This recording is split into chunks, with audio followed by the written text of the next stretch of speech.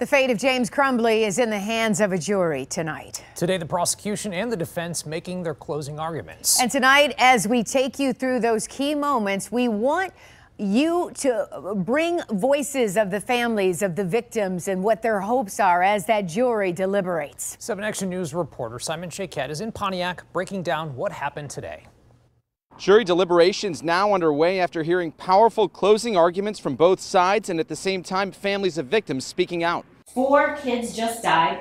Your son's in custody because he committed a school shooting and not once do you say, How did he get the gun? Prosecutor Karen McDonald recalling witness testimony and telling jurors facts indicate gross negligence causing death or failure to perform legal duty of reasonable care. McDonald adding the deadly school shooting in November of 2021 was reasonably foreseeable, and using a simple cable lock, she demonstrated how it could have saved lives. This is me inserting the cable lock. She added James purchased the gun and ammo, failing to secure it and leaving his son at school following a meeting against wishes of counselors who found the Oxford High School shooter's violent drawings and online searches for bullets the morning of the shooting. James Crumbley doesn't get a pass because somebody else also caused the death of these four kids. Prosecutors say James also failed to tell counselors his son had access to a gun and failed to get help when his son asked. The evidence is there testimony is there. Outside, parents of students who were killed sharing their reaction.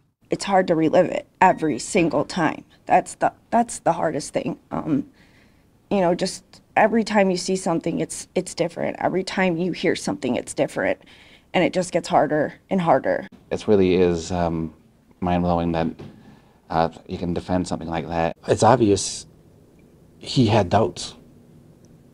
Um, and it was a foreseeable thing. At the same time, the defense only called one witness, the defendant's sister, who claimed she saw no warning signs. You don't have to have the same reasonable doubt as your neighbor. The defense claiming James was not able to foresee the tragedy, did not believe the shooter was a danger to himself or anyone else, that he did make efforts to keep guns and ammo hidden, and that he was unaware of troubling journal entries. You heard no testimony and saw no evidence that James Crumbley was aware that his son had obtained access to those firearms and had handled them unsupervised. Attorney Wolf Mueller represents family of Madisyn Baldwin. I asked him, What did you make of the argument James didn't know?